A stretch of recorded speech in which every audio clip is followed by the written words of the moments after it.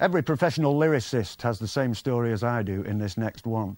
This is a catalogue of all those times where people have come along, changed one word of my title, and had a worldwide mega smash with it. And um, the very title of this one, it's called I Wrote the Songs. So as you can see, the very title was purloined by Barry Manilow in 1973 and was a big hit for David Cassidy in the same year. I wrote the songs that nearly made the bottom line of the hit parade. Almost anthems should have been hits. Songs like Putting Off the Ritz, Some Enchanted Afternoon, 24 Hours from Levenzoom, Dancing in the Daylight, Singing in the Smog, You Ain't Nothing But a Hedgehog.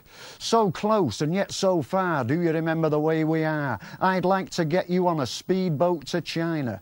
From an idea by George Steiner. Ain't no slouch, Mama's got a brand new couch. She ain't heavy, she's my sister, not to mention Twist and Whisper, brand new leopard skin skin pillbox glove. Baby, you and me got a greasy kind of love. Now, I think you must have latched onto You Ain't Nothing But a Hedgehog there, so just to show you that there are tunes to go with these titles, here's a little clip from You Ain't Nothing But a Hedgehog.